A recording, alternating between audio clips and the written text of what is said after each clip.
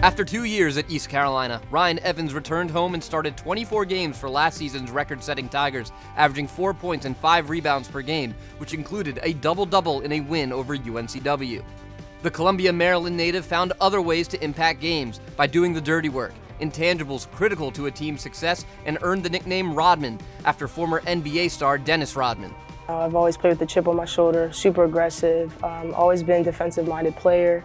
Uh, this this year, I think a lot, is, a lot more is being asked of me, so I'll always have that chip on my shoulder. I've always do the dirty work, but it's just a lot more on my plate this year. Ryann has a motor like I've never seen in my life. She goes so hard after every rebound. I mean, she just, it's next level speed and energy. You know, Rodman just never got tired. There would be games where Rodman had 20 rebounds and zero points and the team won. And I think that is just such a good example of who Ryann is. She's going to put her body on the line every single time. Mean, the play is never over with Ryann. Um, so when you think about Rodman and his semantics, I think people forgot how good he was at basketball and how hard he made it for the other team. Ryann's the same way.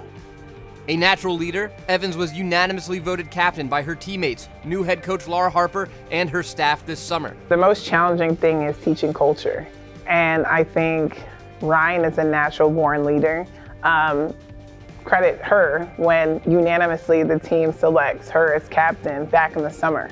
So knowing that we had that vocal leader, that person that's going to go hard every single time, that comes up every day, just excited to be here. It was a blessing to know that Ryann Evans was still here.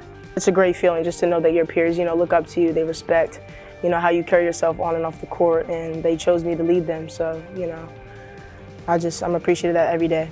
Towson's starting lineup will feature the four returning regulars from last year's squad Evans, Peanut Rivera, Kylie Kornegay Lucas, Sky Williams, plus sophomore Quinn Fulmore. Picked to finish fifth in the Colonial Athletic Association preseason poll, both Evans and Harper have high hopes for the 2022 23 season. I think that all five of them can be double figure scores on any single night.